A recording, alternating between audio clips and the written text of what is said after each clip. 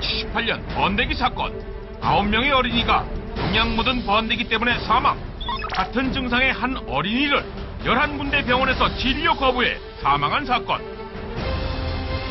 그 당시에는 사실 좀 그 먹거리가 많지가 않았잖아요. 그래서 네. 좀, 어, 못 사시는 분들이 번데기들을 주로 많이 사 먹으셨어요. 아, 번데기. 영양 번데기. 거기에 농약이 엄청나게 많이 들어있었던 거예요. 음. 그래서 아이들이 그걸 먹고 무리 8명이나 사망을 했어요. 그 러니까 엄마들이, 엄마들이 얼마나 기가 막히겠어요. 애들이 그냥 얼굴이 하얘져가지고 거품 물고 갑자기 이유도 없이 번데기 간식 먹고, 죽으니까. 네. 알고 보니까 거기에 이제 도매상들이 농약을 엄청나게 많이 뿌렸던 건데 아. 아홉 번째 아이가 이제 그걸 먹고 이제 병원에 가게 된 거예요.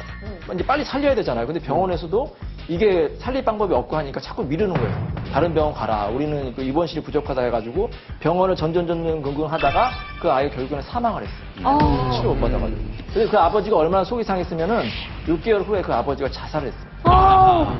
저 번데기 사건 내 기억나는데 번데기에 뿌린 게 아니라 그것을 번데기를 담은 포대가 포대, 포대, 어, 포대. 농약이 묻어 있었던 것으로 해가지고 그렇게 사건이 전개된 거죠. 그때 11살 때였어. 사- 초등학교 4학년 때인데 음, 맞아요. 저 사건 있고서 저희 어릴 때는 번, 번데기가 제일 맛있는 거였고 그렇죠, 그렇죠. 유일하게 먹을 수 있는 거였는데 엄마가 안 사줬던 그 이후로 안 사줬던 기억이 나요. 노정호 전문가님. 아, 예. 예. 아, 그 지금은- 당시 대학병원에서 뭐 왜 이렇게 수술을 거부했던 거예요? 그때 당시에 그 군부 정치 시대였었지 않습니까?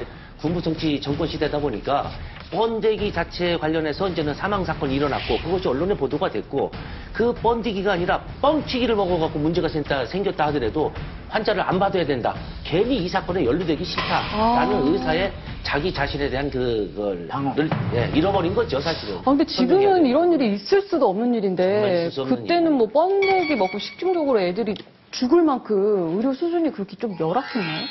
근데 제가 지금 이 사건을 보니까 네. 이게 번데기를 먹어서 그렇다라기보다는 그건 아니에요. 그 농약이 문제죠. 농약이. 농약 중에는 그 과량을 먹게 되면 사실 거의 100% 치사입니다. 사망이고 그 폐 같은 게 섬유화되면서 네. 폐기능을 못하니까 산소를 주면 줄수록 오히려 더 악화가 돼요. 그래서 보통 며칠 안에 다 돌아가십니다. 제가 생각에는 저 시기에 당연히 병원에서 잘 봤어야 되는데 병원도 뭐 충분하지도 않았고 더 중요한 건 그 당시에 보험이 됐겠습니까?